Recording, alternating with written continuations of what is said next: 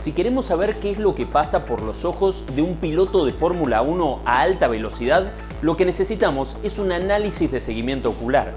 Este video del equipo Force India de Fórmula 1 capta los movimientos de los ojos del piloto Nico Huckelberg mediante un dispositivo de seguimiento ocular. A semejantes velocidades y con fuertes y constantes movimientos, el ojo de Nico no deja de moverse decenas de veces por segundo, trabajando para condensar las fuerzas externas y mantener la vista y la atención en el camino y en el entorno. Si bien es cierto que el piloto normalmente se conoce el circuito más de memoria que por lo que ve, hay que reconocer la enorme capacidad capacidad que tiene el cerebro para procesar tanta información. Esto en un circuito de pruebas vacío, sin otros coches que dificulten todavía más la tarea.